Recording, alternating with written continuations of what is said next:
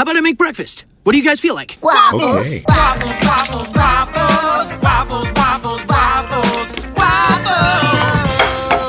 Look, guys, saying waffles over and over isn't funny. It's annoying. Please stop.